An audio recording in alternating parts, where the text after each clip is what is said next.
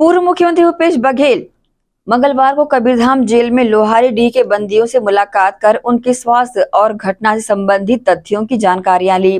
बंदियों से मुलाकात के बाद उन्होंने कहा कि बंदियों से हुई बातचीत ये बता रही है कि पुलिस प्रशासन ने बिना किसी विवेचना के हत्या हत्या के प्रयास जैसे अपराधों में बेगुनाहों को बंद किया है।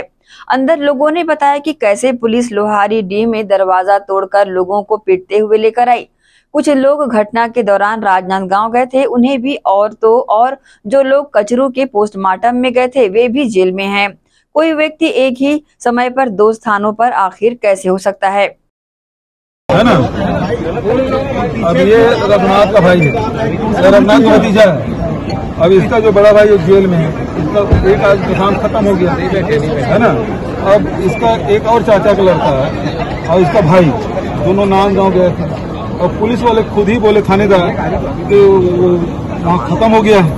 उसमें देखने गए थे। अब देखने गए थे इसका चचेरे भाई क्या नाम है? टीकाराम साहब टी राम साहू। वो भी बोले मैं तो था ही नहीं।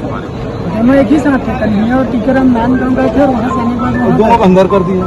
तो ये बिना विवेचना के जब किए ना और रघुनाथ के रिश्तेदार है। घर के हैं। वो कैसे मारेगा?